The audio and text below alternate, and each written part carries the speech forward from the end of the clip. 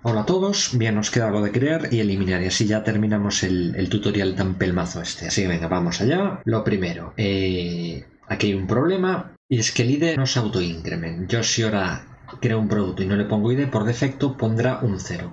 Si hago otro producto, sobrescribe ese, porque si es el mismo ID, lo que hace en vez de crear otro, lo sobrescribe, que es lo que hacemos al actualizar. Entonces yo lo que necesito es obtener el ID más alto y a partir de ahí obtener el siguiente ID sería el ID más alto sumándole uno y eso sería el auto increment. Entonces lo que tenemos que hacer primero en la, en la lista, vamos a obtener el mayor índice.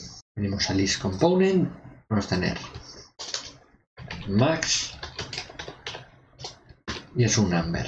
Vamos a tener un método set max. Bueno, o get max más bien. Porque vamos a devolver un número y devolvemos la función matemática max. Hacemos el split. Dis productos. Y hacemos un map. Sería producto. El alias el p. P.id y tenemos el máximo id y aquí download this max. Y ahora this get max. Y lo que tengo que hacer esto pasárselo al nuevo component. Es decir el botón de nuevo va a recibir este valor. Y a partir de ahí sabrá el ID que le tiene que asignar al nuevo producto. Vengo a la lista y aquí os voy a poner el router link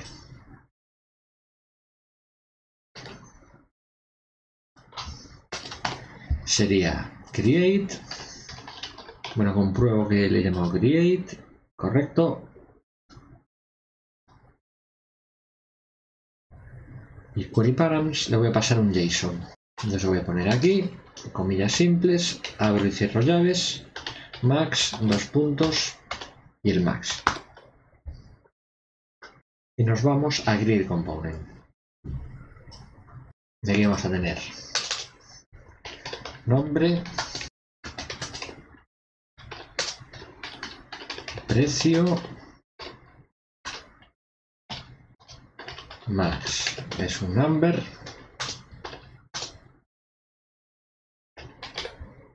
y producto.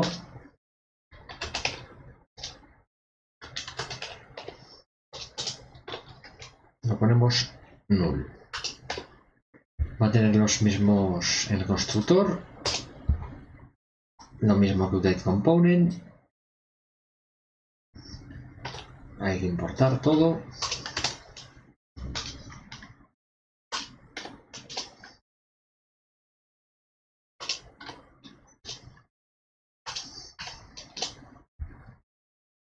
Aquí, activate root.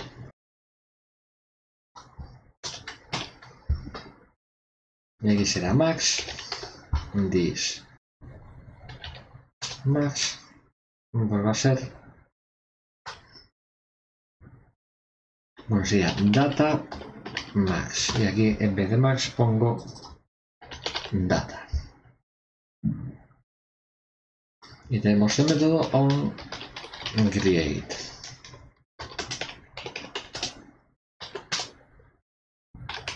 this.max le sumamos uno. This un producto. New producto. This max. This nombre. Y this precio this spinner show bueno Hace falta el text spinner.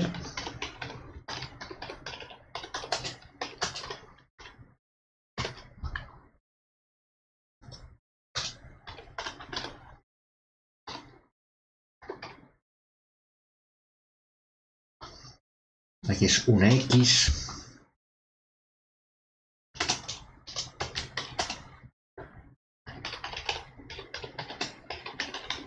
Setting Product.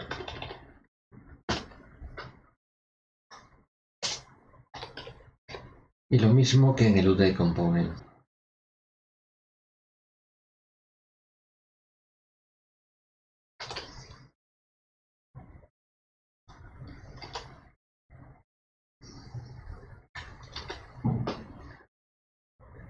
Y lo que voy a hacer, copio todo esto.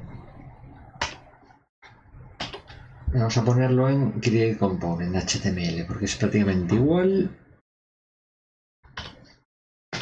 Y a ver, aquí sería on create. Y aquí esas a secas nombre. Y aquí precio.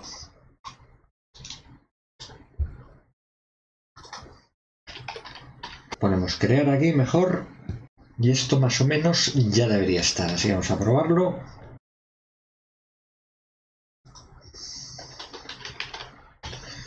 Un producto 3. Y le ponemos 300. Y aquí está. Todo en orden. 1, 2, 3. Tiene ID 3. Producto 3. Abre el 4.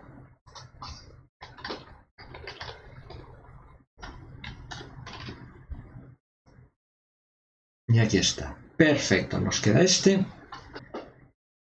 Y en mis component. On delete.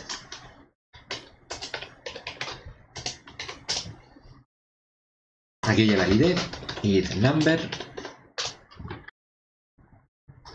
Lo mismo con spinner. Sería deleting o removing, como queráis deleting product y this producto service delete. Subscribe.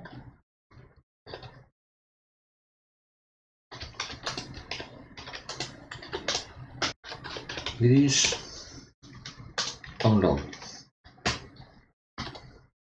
Volvemos a cargar todos los productos y ya nos queda por último en la lista, aquí ponerle el método. En delete, ¿dónde está? Ponemos clic. On delete. Y aquí el producto ID.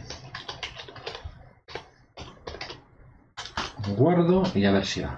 Voy a borrar este. Y aquí lo tenemos, este de aquí. Y listo. Bueno, pues aquí termina el tutorial. Espero que os haya servido de ayuda.